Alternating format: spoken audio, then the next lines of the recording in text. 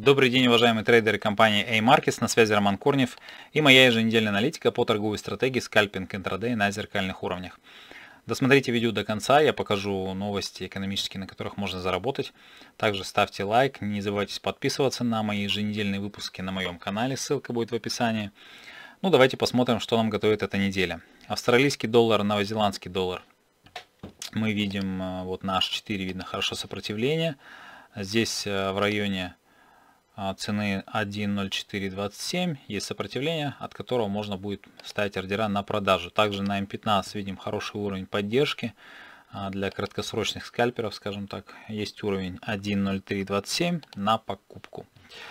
Кстати, на, на прошлой неделе я дал несколько сигналов, два из них идеально отработали, а остальные еще не дошли до цели, поэтому пользуйтесь сигналами, зарабатывайте.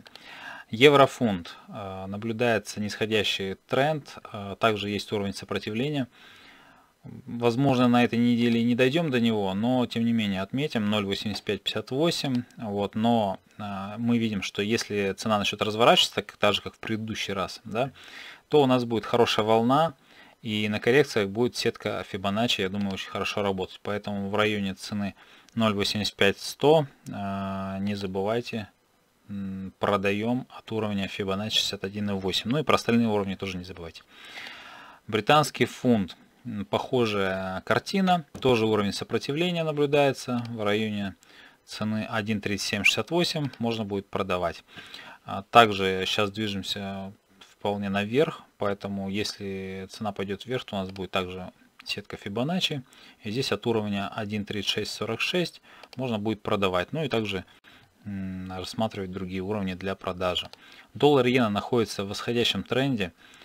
А, здесь э, а, актив достаточно непредсказуемый, но тем не менее, если кто-то хочет закупиться в перспективу, либо краткосрочно поторговать, то здесь а, в районе поддержки 113 839 можно будет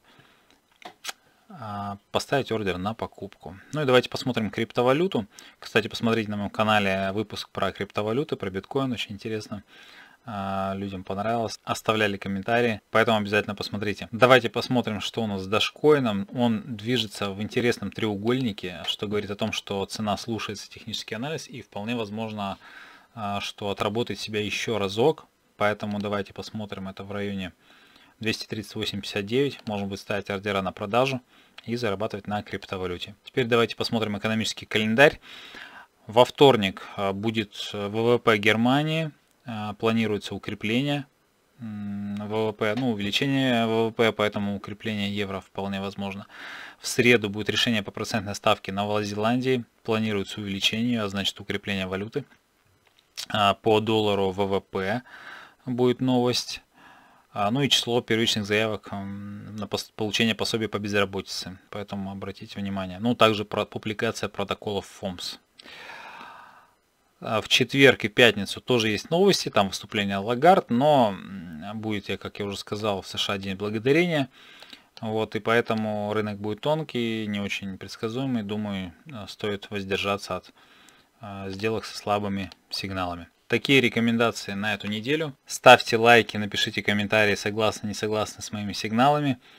Желаю всем успешной торговой недели. Торгуйте с удовольствием. Всем пока.